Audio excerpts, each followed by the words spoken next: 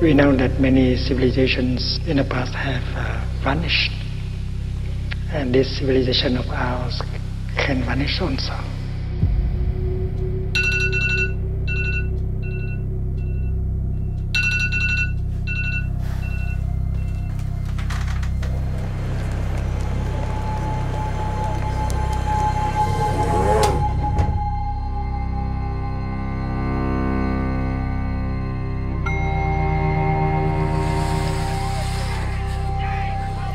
Protesters surging forward towards police lines.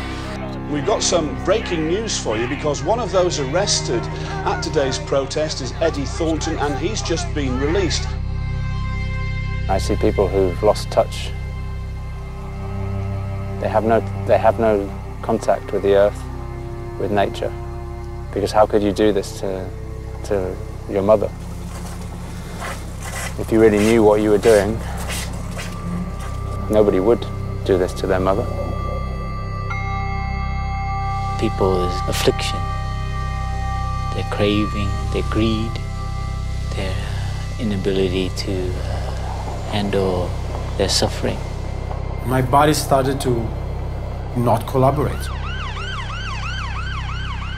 So I had the burnout. There is a place, there is a place of light. There is play of true love. There is a play for peace to reign, to settle. And you should go there. You know how to do it.